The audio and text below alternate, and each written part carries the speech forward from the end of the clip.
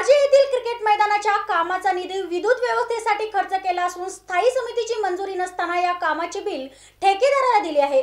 दोषी अधिकाऱ्यांवर कारवाई करण्याची मागणी काँग्रेसचे नगरसेवक संजय बालगुडे यांनी केली आहे.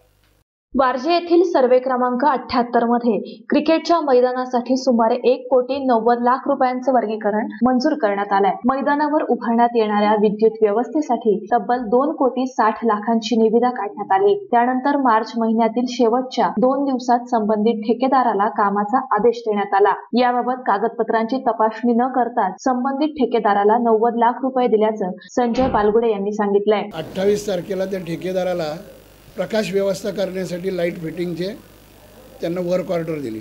त्या वर्क ऑर्डरमध्ये कंडिशन अशी होती की तुम्ही सात दिवसाच्या आत करारनामा महानगरपालिकेबरोबर करायचा. आणि नाही केला तर आम्ही तुमचं टेंडर रद्द करू. एक त्या वर्क ऑर्डरमध्ये एक कॉलम मुद्दाम ब्लँक ठेवण्यात आला होता की ज्या कॉलममध्ये किती दिवसापासून किती दिवसापर्यंत काम पूर्ण करायचं हे त्या वर्क ऑर्डरमध्ये होतं तो ब्लँक ठेवण्यात आला होता.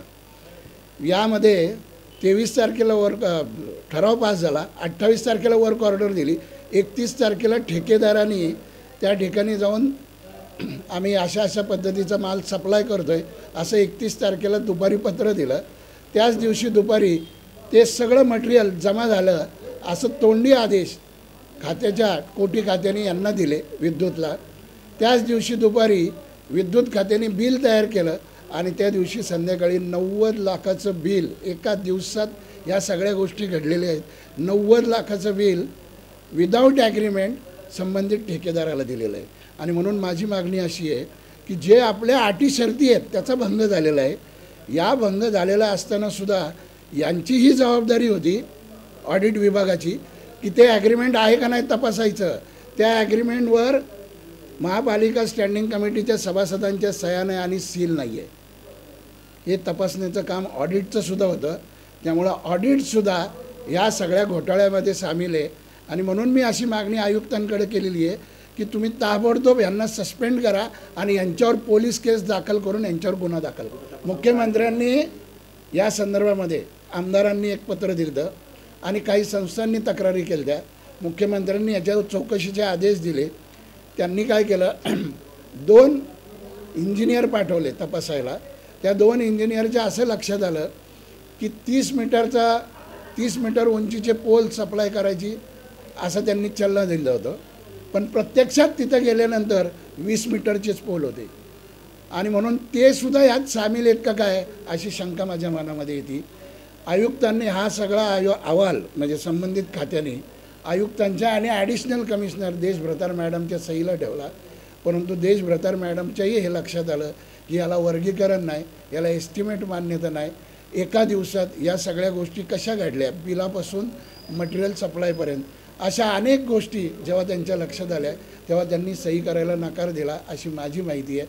आणि माझ्याकडे तो कागद तसाच आहे. त्याची झेरॉक्स आहे. त्याच्यावर कमिशनर साहेब आणि ॲडिशनल कमिशनर साहेबांच्या सह्या नाहीत. हे प्रूव्ह होतं की यामध्ये मोठ्या प्रमाणावर भ्रष्टाचार झालेला आहे.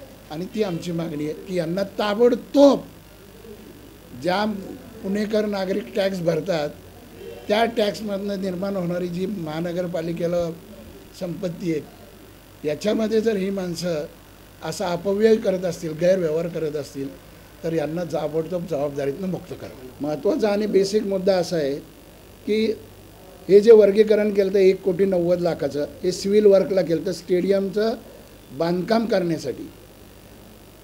ज्या स्टेडियमचं बांधकामच झालेलं नाही जिथं ग्राउंड तयार नाही तिथं प्रका प्रकाश व्यवस्था करण्यासाठी की जे काम शेवट करायला लागतं त्याच्यासाठी तुम्ही पैसे कसं काय टेंडर काढलं? दोषी अधिकाऱ्यांवर कारवाई करण्याची मागणी त्यांनी महापालिका आयुक्त कुणाल कुमार यांच्याकडे केली आहे. दरम्यान या संदर्भात मुख्यमंत्री कार्यालयाने महापालिकेकडून खुलासा मागवला असल्याचं सांगण्यात आलंय.